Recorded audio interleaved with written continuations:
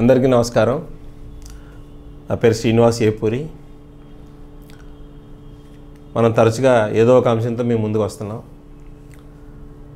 ఈ మధ్యకాలంలో నేను చేసే ప్రాక్టీస్లో చాలా పేరెంట్స్ నుంచి కొన్ని ప్రశ్నలు అదే సబ్జెక్ట్ మీద పిల్లల నుంచి కొన్ని క్వశ్చన్లు వస్తున్నాయి. ఇవన్నీ చూసి నేను ఆలోచిస్తే నాకు అనిపించింది ఏంటంటే ఇద్దరి దృక్పథాలని చూసినట్లయితే కొన్ని సందర్భాల్లో ఏమనిపిస్తుందంటే పిల్లలు ఏం చెప్తున్నారంటే అసలు నేను ఎందుకు చదువుతున్నా నాకు తెలియట్లేదండి. తల్లిదండ్రుల కోసమే చదవాలా నేను? లేకపోతే బాధ్యతగా చదవాలా అనే కాన్సెప్ట్ కూడా మిస్ అవుతున్నారు.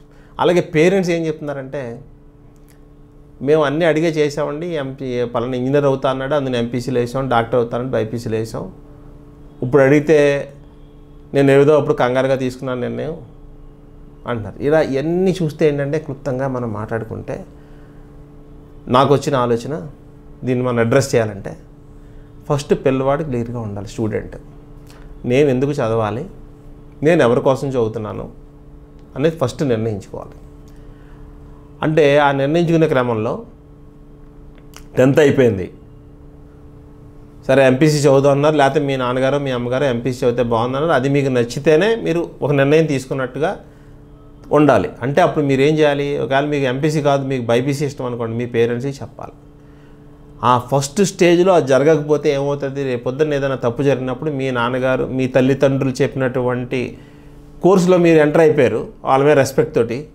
కానీ ము- వెళ్ళేటప్పుడే తెలిసి మీకు అది అది అది మీకు కాదని. అలాంటప్పుడు ఏమవుతుంది? ఫ్యూచర్లో మీరు సక్సెస్ అయితే ఎంత హ్యాపీగా ఉంటారో అందుకు అది కూడా డౌటే ఒకవేళ ఫెయిల్యూర్ అయితే ఏమవుతుంది? నువ్వు చెప్పావు కాబట్టి నేను తీసుకున్నానంటారు. సో అందువల్ల ఏంటంటే జనరల్గా ఇలాంటివన్నీ విశ్లేషణ చేస్తున్నప్పుడు అసలు ఏది ముందు ఏది తర్వాత అసలు ఏం చేయాలి అనేది కూడా కన్ఫ్యూజన్లో ఉన్నమాట నిజం. సో అందుకని మీరు ఫస్ట్ ఏం చేయాలంటే టెన్త్ అయిపోయాక మీకు ఒక కోర్స్ చదువుదా అనిపించింది? ఎంపీసీఓ బైపీసీఓ సిఈసీఓ ఎంఈసీ చదువుదాం మీ పేరెంట్స్కి చెప్పండి. చెప్తే వాళ్ళు చెప్పింది భిన్నంగా ఉందనుకోండి. అప్పుడు మీరు చెప్పాలి. నాకు నువ్వు బైపీసీ చదవమన్నా నాకు ఇక్కడ బయాలజీ కష్టం నాకు maths comfort physics comfort biology నేను అంత చేయలేను. నాకు ఆల్రెడీ నాకు వచ్చిన మార్కులు కూడా బయాలజీ వల్ల ఈ టెన్త్ క్లాస్లో సైన్స్ మార్కులు తక్కువ వచ్చినాయి. ఇదైతే బాగుంటుందని చెప్పగలగాలి. సరే చెప్పినప్పుడు మీరు మీ ఇంట్లో మాట్లాడుకుంటూ ఉంటారు. ఒకవేళ మీరిద్దరు ఇంకా పేరెంట్ స్టూడెంట్ ఒక అభి- అభిప్రాయం రాలేదనుకోండి. మీ టీచర్స్ని కన్సల్ట్ చేయొచ్చు. లేకపోతే మాలాంటి కెరీర్ కౌన్సిల్ని కన్సల్ట్ చేసి అసలు మీకు ఏది కరెక్టో కూడా పట్టుకోవచ్చు. అంటే మీరు ఏదో వ్యామోహంతో వెళ్తున్నారా? ఎవరో చెప్పారు మంచి జీతాలు వస్తాయని లేకపోతే మీకు నిజంగా ఇంట్రెస్ట్ ఉండవుతున్నారా చెక్ చేసుకోవచ్చు. అయితే ఇక్కడ చాలా సందర్భాల్లో ఏమవుతుందంటే ఆ కన్ఫ్యూజన్ ఎంతకు లీడ్ చేస్తుందంటే మేము స్టూడెంట్స్ కేసెస్ చేస్తున్నప్పుడు అసలు నాకు ఇష్టం లేదండి మా పేరెంట్సే తీసుకొచ్చారు ఇందులో పెట్టారు అంటారు. ఇంకోటి ఏంటంటే నా నచ్చిన కాలేజీలో ఏమంటే వేయలేదండి అంటారు. అంటే ఏంటి నచ్చిన కాలేజ్ అంటే ఏంటంటే నా ఫ్రెండ్స్ అక్కడ ముగ్గురు ఉన్నారు. అక్కడ ఏదో మ్యాథ్స్ బాగా చెప్తున్నారంట. ఇక్కడ మ్యాథ్స్ ఇక్కడ మిగతా అన్నీ బాగున్నాయి మ్యాథ్స్ బాగాలేదు అక్కడేమో ఇక్కడ బాగోని బాగున్నాయి అక్కడ ఇక్కడ బాగున్నది బాగాలేదు అనుకోండి. మరి సగం అక్కడ సగం ఇక్కడ మీరు చదవలేరు కదా. మీరు ఒక విద్యా వ్యవస్థలోకి వచ్చినప్పుడు స్టూడెంట్స్ ఫస్ట్ క్లారిటీ ఉండాలంటే నేను తీసుకున్న గోల్ నేను నా తల్లిదండ్రులు ఆలోచించి తీసుకున్నాం కాబట్టి ఏ కష్టాలు వచ్చినా నష్టాలు వచ్చినా ఈ కోర్సు చివరి దాకా నా ప్రయాణం ఉంటుంది. ఈ ప్రయాణంలో నాకు ఏదైనా కష్టాలు వస్తే నా తల్లిదండ్రులను సంప్రదించుకున్నాను నా గురువుని సంప్రదించుకున్నాను నేను ఇదే మార్గంలో ఉంటాను కానీ పక్కకి వెళ్ళను అని ఫిక్స్డ్గా ఫస్ట్ రావాలి. ఆ- గోల్ని అలా తీసుకోవాలి. తీసుకున్నారు. తీసుకున్నాక మీరు వెళ్ళేటప్పుడు ఏమవుతుంది? ఒకసారి టెన్త్ క్లాస్ తర్వాత మీరు ఇంటర్మీడియట్కి వెళ్ళిపోతున్నారు. వెళ్ళిపోతున్నారు. లేకపోతే ఇంటర్మీడియట్ తర్వాత ఇంజనీరింగ్కి వెళ్ళిపోతున్నారు. అక్కడ కూడా ఏంటి? ఒకసారి ఏ గ్రూప్ తీసుకోవాలి? ఏదో మదన పడుతున్నారు కదా. సో మా ఇక్కడ ఇవన్నీ మీరు చేశాక తల్లిదండ్రులు మీరు కలిపి తీసుకుని సమిష్టి నిర్ణయం కాబట్టి ఇక్కడ బ్లేమ్ అనేది ఉండదు గేమ్ ఫస్ట్ ఒకవేళ మీకు ఏదైనా ఒక సబ్జెక్ట్ బాగా అర్థం కాకపోతే ఆ సబ్జెక్ట్ని ఎలా మనం నేర్చుకోవాలనే చూడాలి కానీ నేను అనవసరంగా ఈ కోర్సులోకి వచ్చానేమో నేను చెప్పినప్పుడు నా పేరెంట్స్ చెప్పలేదు. ఎప్పుడు కూడా మనిషి సమస్యల నుంచి బయటికి రావాలి కానీ సమస్యను సృష్టించుకోవద్దు. ఇక్కడ ఏదో ఒక రోజు రాలేదు కంగారు పడకండి. ఎందుకు రాలేదో చూసుకోండి. మీ టీచర్స్ మీ యొక్క జూనియర్ లెక్చరర్స్ మీరు హై స్కూల్లో ఈ జూ- జూనియర్ కాలేజ్ ఉండే జూనియర్ లెక్చరర్స్ కావచ్చు లేకపోతే మీ సూపర్వైజరీ స్టాఫ్ కావచ్చు అడిగి మీకు ఏ సహాయం కావాలో అడిగితే చెప్తారు వాళ్ళు. నాకేదో మార్కులు తక్కువ వస్తున్నాయి దిగులుగా కూర్చోకండి. మీకు ఏ సమస్య ఉందో ఆ చాలా కాలేజీలు వాళ్ళు చెప్పేటటువంటి ఆన్సర్ ఏంటంటే అసలు స్టూడెంట్ మా నుంచి ఏం ఎక్స్పెక్ట్ చేస్తున్నాడో తెలియట్లేదు. పేరెంట్ మా దగ్గర నుంచి ఏం ఎక్స్పెక్ట్ చేస్తున్నాడో తెలియట్లేదు. వాళ్ళకే క్లారిటీ లేదు నాకేముంటుంది వాళ్ళు ఏమడిగినా మేము ఇస్తా సిద్ధంగా ఉన్నాం కానీ అడిగేది క్లియర్గా లేదు. అనే అనేది కూడా చాలా చోట్ల కనిపిస్తుంది. ఇంకొద్దిమంది ఏంటి పేరెంట్స్ అద్దాక అంటారు నువ్వు బాగా చదువుకుంటే సెటిల్ అవుతావు మంచి జీతం వస్తుంటే రేపు పొద్దున జీతం తక్కువ వస్తే నువ్వు నువ్వు చెప్పావు మంచి జీతం రాలేదంటే అది కూడా అర్థవంతంగా ఉండదు. అందువల్ల మీరు ఏం చేయాలంటే ఫస్ట్ నిర్ణయం సమిష్టిగా తీసుకుంటున్నా మీరు ఫెయిల్ అయితేనే ఈ సమస్యలు వస్తాయి. మీరు మీ తల్లిదండ్రుని ఎర్లీ స్టేజ్లో కన్విన్స్ చేసుకోకపోతేనే ఈ సమస్యలు వస్తాయి. మీరు ఎవరో మీ ఫ్రెండ్ని ఫాలో అయిపోతేనే ఈ సమస్యలు వస్తాయి. ఇంకొకరు జాయిన్ అయ్యారు ఇద్దరు కలిసి వాళ్ళు వచ్చని అట్లాంటప్పుడు ఈ సమస్యలు వస్తాయి. కాబట్టి ఇక్కడ క్లారిటీ చాలా అవసరం. ఈ క్లారిటీ వచ్చే ముందు మీరు చేయాల్సింది ఏంటంటే అసలు నేను తీసుకున్న సబ్జెక్ట్ కరెక్టే కదా అని నాకు టెన్త్ క్లాస్ దాకా మ్యాథ్స్ అంటే భయం. మళ్ళీ నేను ఎంపీసీ ఎందుకు తీసుకున్నాను? దీని దూరంగా పెట్టుకో నా నష్టం లేదు. అసలు మ్యాథ్స్ లేకపోతేనే ఉండలేదు ఉండలేను. మరి నువ్వు ఎంపీసీ వదిలేసి బైపీసీకి ఎందుకు వస్తావు? మా ఎక్స్పీరియన్స్లో చూస్తే చాలామంది మ్యాథ్స్ అంటే భయంతో బయాలజీకి వచ్చారు. బయాలజీకి వచ్చి నీట్ షీట్ కొడతానంటారు. ఇక్కడ నీట్ కొట్టాలంటే ఫిజిక్స్ మార్కులు కావాలి. ఫిజిక్స్ కావాలంటే మ్యాథమెటిక్స్ నాలెడ్జ్ కావాలి. చాలామంది నేను కొన్ని కొన్ని కాలేజీల్లో మాట్లాడుతున్నప్పుడు కూడా పాపం ఆ ప్రిన్సిపాల్స్ కనెక్ట్ అయ్యి నిజంగా నేను ఇలా శ్రీనివాస్ గారు చెప్పేది నేను కూడా తెలియక ఆ ఏజ్లో అలా వచ్చాను. ఇక్కడికి వచ్చే తెలిసింది ఫిజిక్స్లో కూడా కావాలని. అందువల్ల మీరు ఏం చేయాలంటే ఎప్పుడైనా సరే ఇలాంటి సమస్యలు ఉన్నప్పుడు మీరు ఒక అది మీకు మీకు ఇట్లాంటి సమస్య ఎప్పుడు స్టార్ట్ అవుద్ది? కోర్సు మంచిది కాకపోయినా స్టార్ట్ అవుద్ది. కాలేజీ మంచిది కాకపోయినా స్టార్ట్ అవుద్ది. కాలేజీ మంచిదే బ్రాంచ్ మంచిది కాకపోయినా స్టార్ట్ అవుద్ది.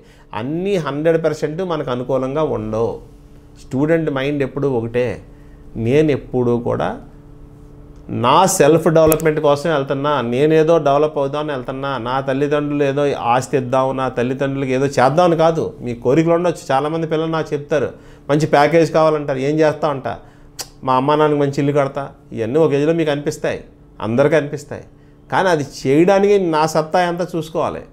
అందువల్ల ఏంటంటే మళ్ళీ తేడా ఎప్పుడో కోర్సు తేడా వచ్చింది నీకేదో చేద్దాం నేను మునిగిపోయానంటే తల్లిదండ్రులు కూడా హర్ట్ అవుతారు. ఇక్కడ ఏంటంటే మానవ సంబంధాలు అనేవి అది తల్లితో కావచ్చు తండ్రితో కావచ్చు అన్నయ్యతో కావచ్చు మానవ సంబంధాలని చాలా విలువైనవి చాలా సున్నితమైనవి ఎప్పుడూ ఉండాల్సినవి మనం నిలబెట్టుకోవాల్సినవి. సో అందులో మీకు ఏదో ఒక రోజు మార్కు తక్కువ వస్తే నువ్వు తీసుకెళ్ళి అందులో పడేసావు.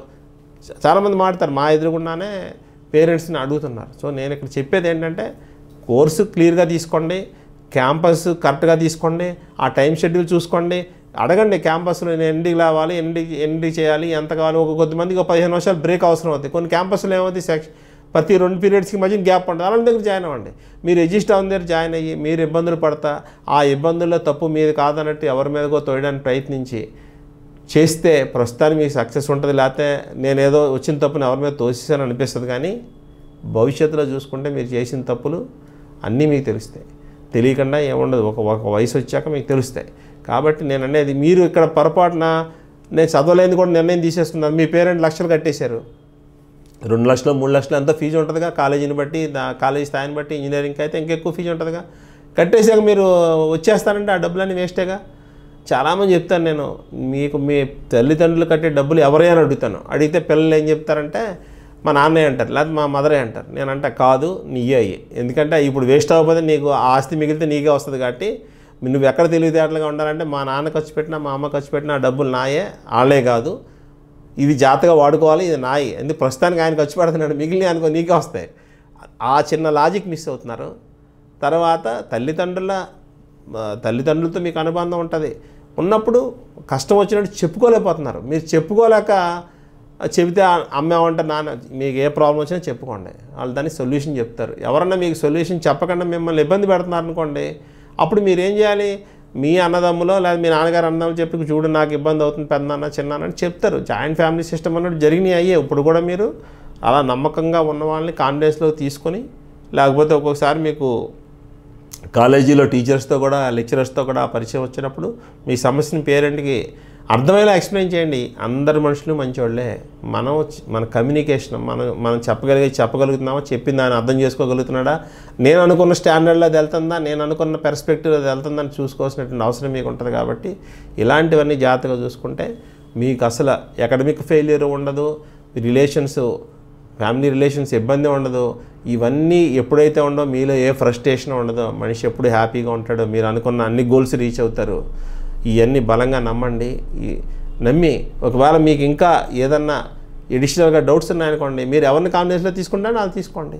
తీసుకుంటే మీ అల్టిమేట్గా మీకు కావాల్సింది మీ సమస్యకు శాశ్వత పరిష్కారం. ఏదో మిమ్మల్ని మీరు అడిగిన దానిగా నువ్వు మంచోడురా వాళ్ళు మంచోడు అలాంటి వాళ్ళని లెక్కలోకి తీసుకోకండి. ఎవరిని తీసుకోవాలో తెలుసుకుంటాం కూడా మీ సమస్య పరిష్కారానికి ఎవరు కరెక్ట్ అని తెలుసుకుంటాం అదే విజ్ఞత అదే మీ లైఫ్లో పునాది. సో ఇవన్నీ గుర్తుపెట్టుకోండి. మరిన్ని మంచి విషయాలతో మరొక వీడియోతో మీ ముందుకు వస్తాం.